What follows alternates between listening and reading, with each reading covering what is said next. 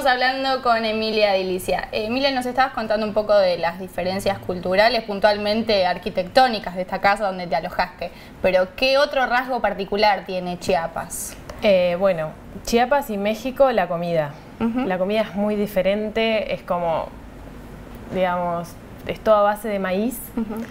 Eh, que la, tiene sus grandes y eternas y infinitas versiones, se come de diferentes maneras y cerdo. Eh, eso fue una diferencia muy grande y también los horarios en que comen. Yo particularmente estoy acostumbrada a levantarme y comer algo. Allá no comen algo hasta el mediodía o hasta las 3 de la tarde, que comen esas cosas bien contundentes, que son unos tacos, unas gorditas que son de, de maíz y de, y de cerdo. Eh, esa fue otra de las diferencias que noté, que fue difícil adaptarme, pero no me costó tanto, la verdad. es muy sabrosa la comida. Y cuando te dicen que no pica la salsa, en realidad sí pica, pero para ellos no, porque yo siento que ya están como, hay una parte de los sentidos que no la están registrando porque de tanto picante no lo sienten. Y eso también fue difícil acostumbrarme al picante. Pero además es un estado que tiene un sello político bastante fuerte. ¿Cómo lo viviste? Y Chiapas fue conocido en el 93 por los levantamientos zapatistas, que era un levantamiento de un ejército eh, de indios eh, campesinos que antes de firmarse el Tratado de Libre Comercio de México-Estados Unidos, se levantan para decir no, no queremos esto porque en la medida que se levante nuestras condiciones van a seguir empeorando. Es conocido por, ese, por esa situación y el Estado, digamos, y la cuestión del zapatismo, de los zapatistas, atraviesa toda la vida de las personas. Me cruzaba con gente que estaba muy de acuerdo con el reclamo zapatista, que los apoyaba y que creían que realmente fue la manera, el levantamiento armado, la manera de poder pelear y conseguir lo que deseaban y otras personas que no, que pensaban o que consideraban que los zapatistas son personas vagas que deciden no trabajar y por eso están con paliacate, que es el pañuelo que se atan acá, o con el pasamontañas para no trabajar y para que nadie los identifique. Eh, en eso, en eso la cuestión política estaba muy presente todo el tiempo, también la cuestión del gobernador, el gobernador es, eh, es un güero, un güero es una persona blanca en México, cuando en Chiapas el 80% de la población es indígena y tiene otras condiciones, digamos, físicas. Eh, y bueno, y además ese, este güero era como el, es el futuro candidato a presidente de México. Entonces estaba todo el tiempo esta cuestión del güero dando vuelta y de los zapatistas dando vueltas que, que al principio cuesta entenderlo, pero después uno se, involucra y hasta toma postura, no, no, no, puedes estar ahí, digamos, de vacaciones, no, ya te empezás a involucrar desde otro lugar. Una de las maneras que hice para involucrarme fue eh, ir a conocer un caracol. Un caracol son los lugares de, de gobierno de las comunidades zapatistas que existen en Chiapas, las comunidades son comunidades autónomas donde, el gobierno no interviene en absoluto, ni en su economía, ni en su, ni en su educación, ni en su salud, se autoorganizan. Fui a conocer un caracol, fue mágico, fue una experiencia realmente increíble. Eh, es, como estar en un, mundo diferente y sí, es un mundo diferente. Eh, y ahí sí ya tomé postura por, por, esa, por, ese, digamos, por este sector que es muy coherente entre lo que hace y lo que, y lo que es. Durante el periodo que vos estuviste en México también, digamos, se sucedieron estas desapariciones de los normalistas de, de Ayotzinapa. ¿Pudiste participar de las marchas? ¿Entraste en contacto con la problemática? Sí, sí, participé de todas las marchas que se hicieron en Tuxtla Gutiérrez, que es la capital de Chiapas, y además de algunas marchas que se hicieron en San Cristóbal de las Casas, que es una de las ciudades más importantes de Chiapas, aunque no es la capital.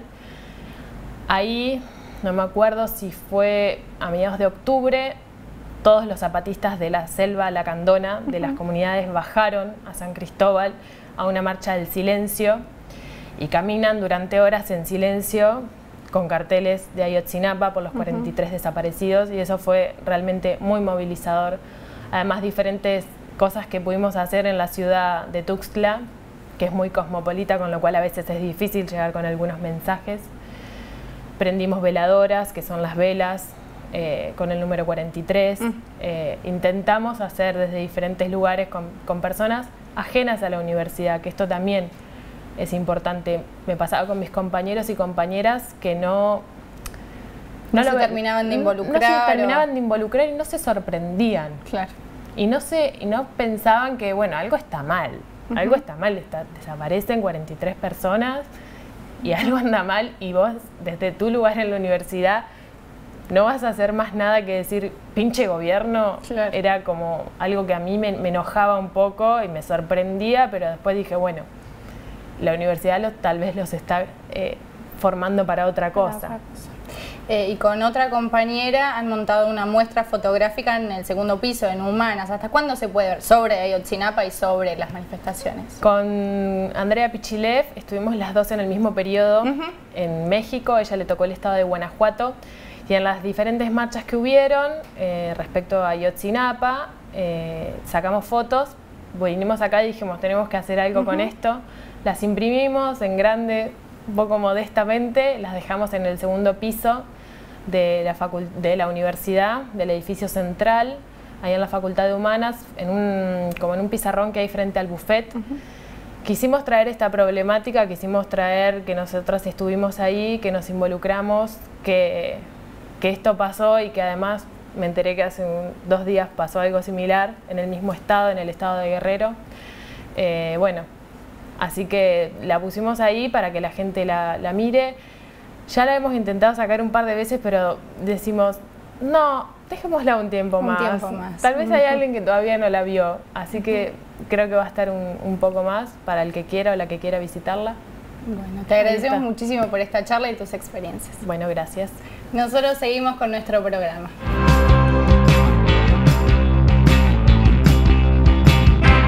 Los años, el 17 de mayo, se celebra el Día Mundial de la Lucha contra la Discriminación por Orientación Sexual e Identidad de Género. En este marco, Ulpam TV entrevistó a Indiana Morénico, una estudiante de la carrera de abogacía que nos cuenta su historia.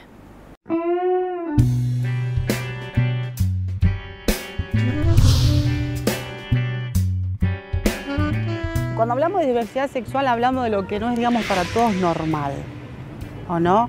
Eh, que incluye muchas personas, muchos sexos, que puede ser eh, una chica trans, un gay, una lesbiana, una chica transgénero. Todo eso comprende lo que es la diversidad sexual. En realidad yo recuerdo perfectamente que ya a los cinco años en el jardín yo ya sabía lo que quería hacer. Pero fue un proceso obviamente largo. Yo vengo de un pueblo muy chiquitito. Yo soy de Miguel Cané, no soy de aquí Santa Rosa. Y, sí, e, encima en un pueblo es súper complicado, pero lo, pude, luché, la remé en dulce de leche, pero se puede, sí, sí. Se puede y, no es que de un día para el otro, es una transformación de a poquito. Aparte, había que, que aceptar lo que tu familia, ¿me entendés? Era como muy complicado en un pueblo. Encima mi familia, digamos, en un principio fue muy machista. O sea, vengo de un pueblo en donde mi papá es un gaucho. Esa es la realidad. Y, la verdad que era, era como medio chocante que, el hijo del paisano de un día para otro sea, sea lo, que, lo, que, lo que soy. Pero siempre supe lo que quería y, bueno, y lo logré. Cuando decidí venirme a estudiar acá a la, a la Facu, es como que tenía la mochila súper importante, porque imagínate que chica del interior, chica trans, de pueblo, mudarse a una ciudad gigante a lo que es eh, Miguel Cané, y era como muy complicado. Yo venía con esa mochila de que cómo lo iban a tomar, aparte romper con el esquema de la, de la facultad tan, tan conservadora, porque yo estoy estudiando abogacía y es, digamos, que es súper estricta, conservadora, y romper con ese esquema no fue fácil, pero lo logré. Discriminación, lo que es discriminación en sí no he sufrido, no he sufrido, pero sí obvio las risas, obvia los comentarios por debajo y de algún profesor tampoco. Sí, por ahí me he tenido que aguantar eh, la, posición de un profesor ante un tema que yo, eh, matrimonio igualitario, identidad de género, pero después no, no, no, no he sufrido discriminación. Yo considero que yo llegué, a ese edificio yo llegué. Entonces creo que sí o sí necesitaba una herramienta para ayudar a las demás chicas a que lleguen. Nosotros como sociedad tenemos un deber. La sociedad las impuso a que las chicas estuvieran en la calle, porque no encuentran otra forma de sobrevivir. Entonces considero de que nosotros tenemos el, deber moral de ayudar a las chicas para que, dejen, para que dejen todo lo que es la calle y todo lo que eso significa. En una época que buscaba empleo, eh, fui a la, oficina de empleo de la municipalidad y eh, nosotros estábamos en una lista aparte, incluso estamos en una lista aparte.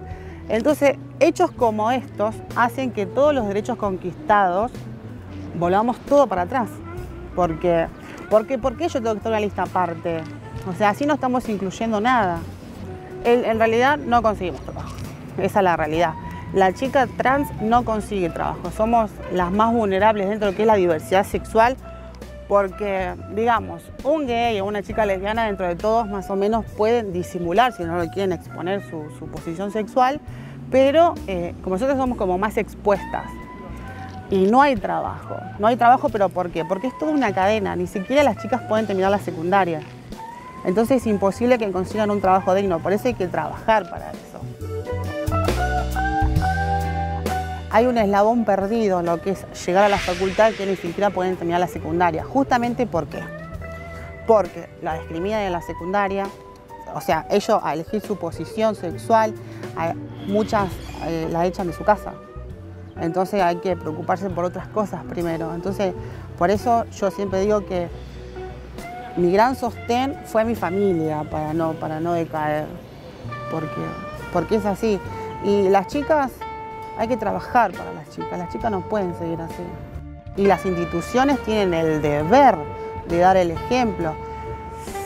Lo privado es mucho más difícil, o sea, por eso creo que lo público tiene que dar el ejemplo, sí o sí, porque nosotros no podemos obligar a lo privado a incluir a una chica trans, pero sí dar el ejemplo desde lo público. Se avanzó muchísimo. Lo único que, queda por resolver es la inclusión en diferentes ámbitos, que como puede ser lo educativo, lo, laboral, pero porque si no, no, no, vamos, no, las chicas no van a salir de O sea, una realidad. Amo la política, eh, milito de hace muchos años y ahora con mi carrera y con lo que es el, espacio que me da la, la, organización, creo que se puede defender, incluir y apoyar a, las más vulnerables que son las chicas trans, los gays, lesbianas, trans, transgéneros. Es cada día derribar una barrera, una barrera más, una barrera más, una barrera más. Eh, te haces fuerte con todo lo que te pasa a lo largo de toda tu vida porque no es fácil, es como me dice, como me dice una amiga. Nosotros tenemos a vos, tenemos ahora súper entera, pero detrás tuya hay una lucha íntima, que es tremenda. Y es verdad, porque es así.